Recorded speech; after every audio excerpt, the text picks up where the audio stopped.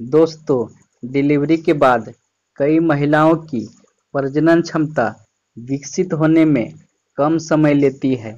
वहीं दूसरी, कुछ महिलाओं का प्रजनन क्षमता का देरी से विकास होता है, खासकर जब वो अपने शिशु को दूध पिला रही होती है। उस महिला को प्रेग्नेंट होने में थोड़ी देरी हो सकती है। दोस्तों, प्रसव के बाद 45 से 90 दिन का समय लग जाता है। अवलोसन में प्रजनन क्षमता का फिर से बनना या विकसित होना मतलब आपके ब्रेन हार्मोन और ओवुलेशन का फिर से सामान्य प्रक्रिया से काम करता है। जितनी जल्दी पीरियड शुरू होता है, उतना ही जल्दी महिला गर्भधारण करती है। शिशु को दूध पिलाने वाली महिला का ओवुलेशन होने में थोड़ी देरी होती है। साथ ही उसके प्रजनन क्षमता पर भी असर पड़ता है।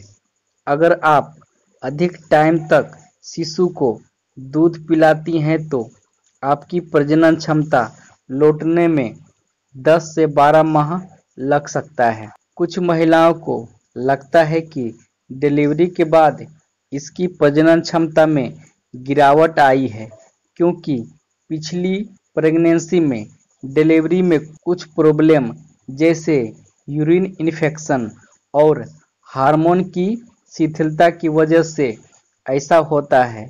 जल्दी प्रेग्नेंट होने के लिए आपको डॉक्टर से सलाह लेकर ही सही उपचार करवाना चाहिए। यदि आप सच में आपने आखिरी बच्चे के तुरंत बाद दूसरा बच्चा चाहती हैं तो आप डिलीवरी के छः हफ़्ता बाद ही दूसरी बार प्रेग्नेंट हो सकती हैं। हालाँकि यह आपके स्वास्थ्य पर निर्भर होता है। वैसे इस विषय में आप डॉक्टर से सलाह ले सकते हैं।